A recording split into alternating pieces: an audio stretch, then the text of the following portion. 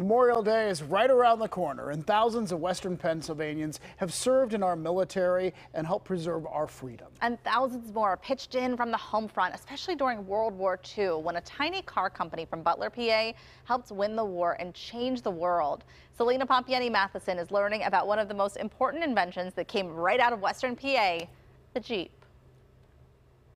Hello from the Heinz History Center, everybody. I'm hanging out with the president and CEO today, Andy Masich. Always good to see you, Andy. It's good to see you, too. I'm so glad that you came to the History Center today as Memorial Day approaches. It's a good time to remember those people who sacrificed so much, especially during World War II. Yeah, it's so true, Andy. And so many big parts of World War II happened in our area here.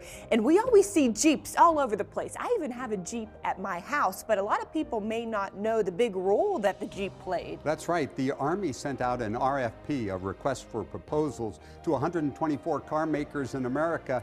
And the only one who came through was this little American Bantam car company in Butler, Pennsylvania. And they designed a vehicle that could go any place a horse could go, pull a gun, and it didn't weigh any more than a big horse.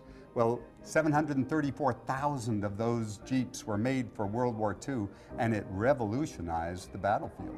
And Andy, I understand that Pittsburgh was the arsenal of democracy. That's right. Pennsylvania produced more steel than all the Axis powers put together. And you know, a lot of guys were in uniform. They had to leave their jobs at factories and mills, and Rosie the Riveter took their place. 50,000 women took the place of the men in the mills. And a Westinghouse artist named J. Howard Miller came up with this famous image, We Can Do It.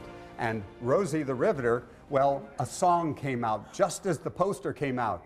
All the day long, whether rain or shine, she's part of the assembly line. She's making history, working for victory. Rosie, uh, uh, uh. the Riveter. Well, that's right. So now that image is known around the world. Tens of thousands of people from Western Pennsylvania joined the war efforts. You're right, Celina, and they came from all walks of life. From Homewood, Carl Woods joined the Tuskegee Airmen. A hundred Western Pennsylvanians joined this all-black flying squadron that protected B-24 bombers. They flew P-51 Mustangs. Carl Woods lost his life over the Adriatic Sea. And we provided leadership for the war effort too, Andy. You're right about that, Celina. In fact, the architect of victory for World War II was George Marshall from Uniontown, Pennsylvania. After the war, came up with the Marshall Plan, which rebuilt Europe. But he said of Western Pennsylvania and of the Jeep, that's the most important contribution that America made to the war effort.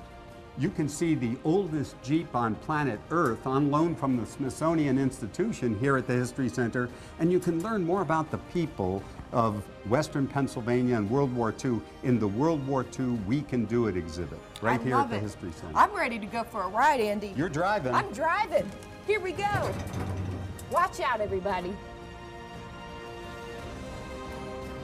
Yeah, you should probably not actually go driving through the Heinz History Center. Yeah. Yeah. But anyhow. Maybe not allowed. It's Still fun to learn about. All right, this is an annual Jeep Festival, of course, that's being held in Butler each summer, and it's coming up soon. It's coming up June 10th and 12th, and I know people love that love festival. Love it, yeah. yes.